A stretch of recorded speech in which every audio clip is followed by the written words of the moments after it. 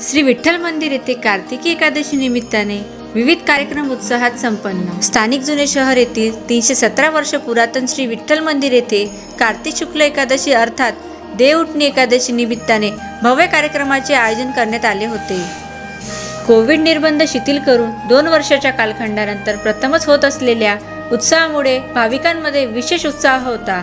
नियमांचे पालन करून भाविकांनी मंदिरात आपल्या लाडके विठुरायाचे दर्शन घेऊन त्याचे रूप साठवण्यासाठी गर्दी केली होती.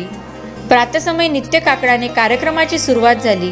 त्यानंतर मंडळाचे सर्व सेवाधिकारी आमदार गोवर्धन शर्मा व त्यांच्या सुविद्य पत्नी सौ गंगादेवी शर्मा तसेच श्री रामनवमी शोभयात्रा समितीचे अध्यक्ष श्री विलाजी अनासने व सौ मनीषाताई अनासने यांचे हस्ते श्री विठ्ठल रुक्मिणीच्या मूर्तीची विधिवत षोडोपचारे पूजा करून अभिषेक करण्यात आला.